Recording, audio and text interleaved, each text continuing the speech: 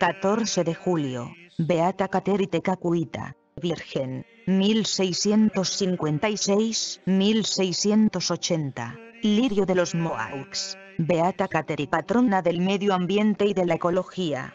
La Beata Kateri Tekakuita aún no ha sido canonizada. Kateri nació en un pueblo cerca de Auriesville, Nueva York en el año 1656 y era hija de un luchador de la tribu Mohawk.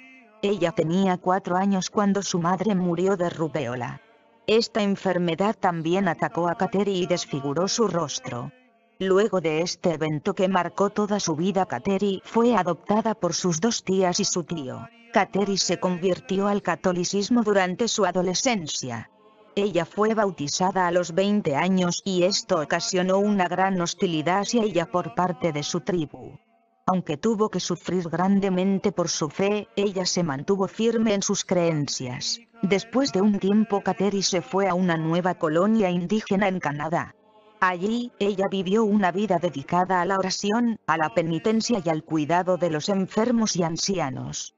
Cada mañana, aun durante los inviernos más fuertes, ella se instalaba frente a la puerta de la capilla hasta que la abriesen, a las 4 de la mañana, y se mantenía ahí hasta la última misa del día. Kateri era muy devota a la Eucaristía y a Jesús crucificado.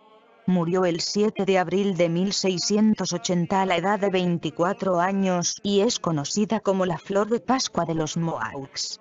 A la devoción de Kateri se le atribuye el establecimiento de ministerios para las tribus indígenas en las iglesias católicas de los Estados Unidos. Kateri fue declarada venerable por la Iglesia Católica en 1943 y fue beatificada en 1980. Actualmente se está trabajando en el proceso para su canonización.